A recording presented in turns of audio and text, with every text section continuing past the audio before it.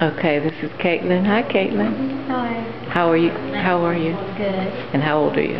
13. Okay. So, can you explain to us what you're doing here? I am cutting out some fabric for my quilt. Okay. And that in your hand is called a what? A A board. a board, a template.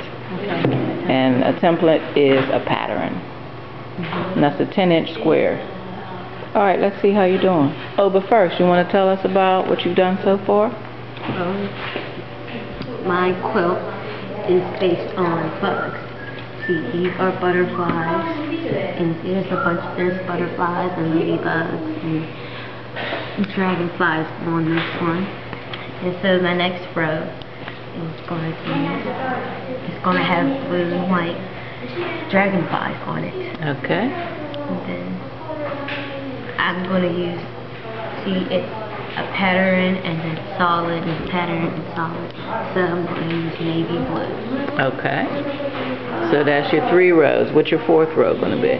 My fourth row is going to be ladybug print and this yellow right here.